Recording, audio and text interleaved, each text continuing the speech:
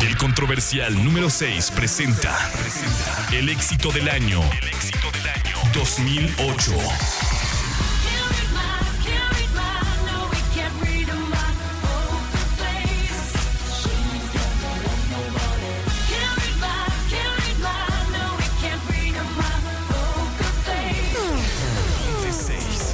Ponte 6.